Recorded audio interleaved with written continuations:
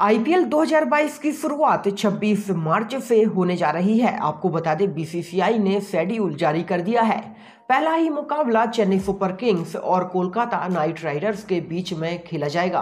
पिछले सीज़न में दोनों ही टीमें फाइनल तक पहुँची थी, जहाँ पर चेन्नई की टीम ने जीत हासिल की थी। आज के इस वीडियो में हम आपको बताएँगे चेन्नई सुपर किंग्स की बेस्ट प्लेइंग इलेवन के बारे में, जो के के खिलाफ मैदान पर नज़र आने वाली है। वीडियो को लाइक करें, चैनल को सब्सक्राइब नहीं किया है तो चैनल को सब्सक्राइब करें। आपकी राय में क्या चेन्नई सुपर किंग्स आईपीएल 2022 में एक बार फिर से खिताब जीत पाएगी।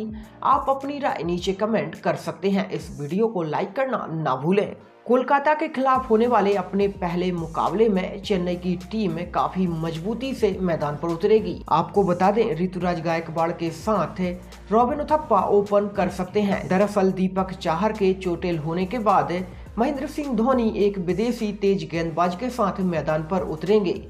इसी वजह से ओपनिंग बल्लेबाज डेवन कॉनबे को मौका नहीं मिलेगा। उनकी जगह रॉबिन उथप्पा को ओपन कराया जा सकता है। इसके अलावा अगर हम चेन्नई सुपर किंग्स की प्लेइंग इलेवन के बारे में बात करें तो ऋतुराज गायकवाड़ और रॉबिन उथप्पा ओपन करेंगे तो वही नंबर तीन पर मोइन अली खेलते हुए नज़र आने वाले हैं। नंबर चार पर अंबाती रायडू खेलेंगे।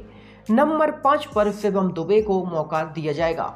नंबर छह पर कप्तान महेंद्र सिंह धोनी खुद मैदान पर उतरेंगे। नंबर सात पर रविंद्र जडेजा खेलेंगे तो वहीं नंबर आठ पर डोइन ब्रावो खेलते हुए नज़र आने वाले हैं।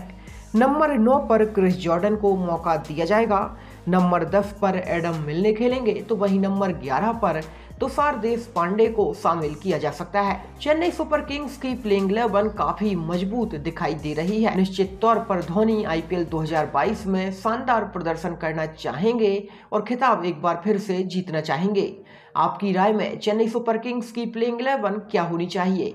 आप अपनी राय नीचे कमेंट करें। चैनल को सब्सक्राइब नहीं किया है तो चैनल को सब्सक्राइब करें।